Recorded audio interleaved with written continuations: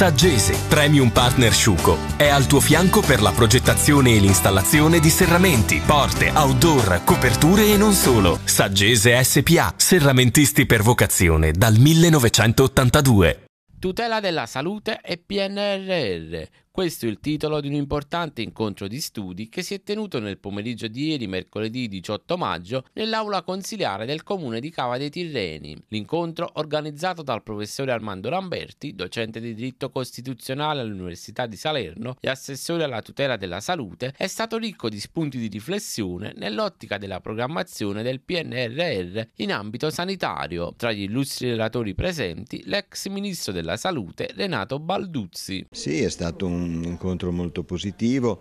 gli interventi che hanno preceduto il mio si sono caratterizzati per andare oltre quello che qualche volta è una tentazione in alcuni territori del nostro paese, quello di fare un elenco delle doglianze, di lamentarsi, di chiedere eh, genericamente più risorse, hanno invece puntato sul fatto che eh, il Piano Nazionale di Ripresa e Resilienza richiede una eh, forte responsabilizzazione individuale, una responsabilizzazione dei professionisti,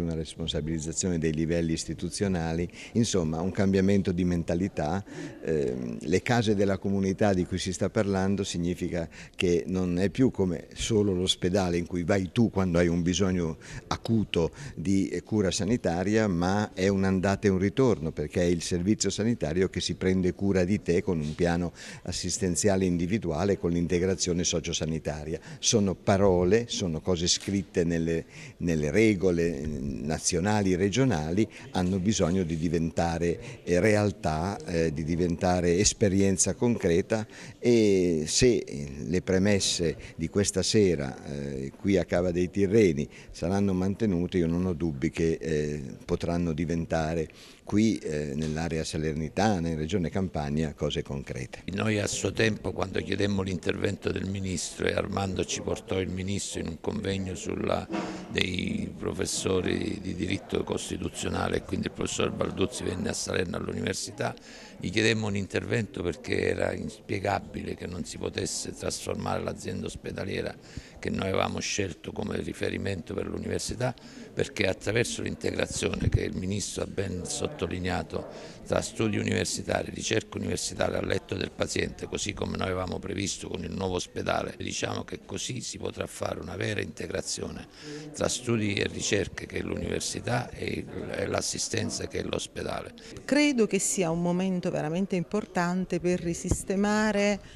eh, come dire, tutti quei profili che appunto in materia eh, di sanità in questi anni si sono mostrati eh, chiaramente carenti, determinando una serie di, mm, come dire, di disallineamenti, di disagi sul territorio. Bisogna comportarsi virtuosamente rispetto ai soldi che arriveranno, rispetto a, eh, chiaramente alle risorse ed investirle nella prospettiva che è quella che poi interpreta il PNRR del paziente realmente al centro del sistema. È stato un incontro estremamente interessante, ha messo a punto le criticità attuali e la soluzione di queste criticità che vanno soprattutto nel potenziamento del territorio, nell'alleggerimento degli ospedali e quindi in un'azione di filtro che il territorio deve esercitare.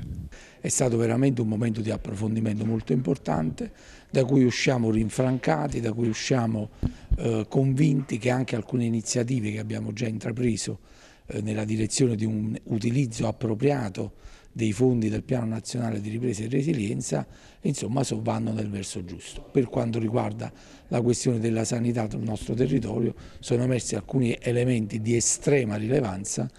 che metteremo in campo, ne faremo tesoro a tutela della risposta adeguata e sempre più adeguata del nostro territorio al bisogno di sanità che i nostri cittadini esprimono, quindi è stata veramente una serata importante interventi di grandissimo interesse scientifico e direi anche eh, insomma, eh, di tipo politico, perché, di politico in senso alto, nel senso che sono venute anche delle indicazioni importanti che si possono eh, tradurre anche come monito per il legislatore per cercare anche di eh, intervenire eh, su alcuni punti della legislazione in materia sanitaria. E in particolare poi soprattutto è venuto in, in, maniera chiara